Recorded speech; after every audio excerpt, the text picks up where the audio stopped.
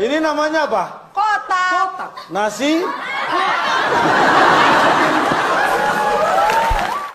Apakah jawaban tim atau tim B yang benar atau mungkin jawaban lain? Kita yeah. langsung buka makanan yang biasanya dibagikan untuk berbuka puasa.